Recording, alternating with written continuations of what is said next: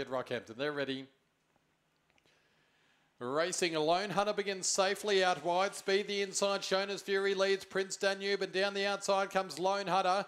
He's quickly coursing up along the outside of Shona's Fury. They're bumping and getting the dream run, Jess Trees. Well, Jess Trees took the lead from Lone Hunter, who's there to pounce. Three away third, Shona's Fury. Inside Prince Danube, on heel swerve. Spot on Thyra and last is Little Hercules. Lone Hunter now worked to the lead. He has done some work though, and they're starting to come at him. Lone Hunter at the inside, Jess Trees and out wide over the top, Shona's Fury. They're ready.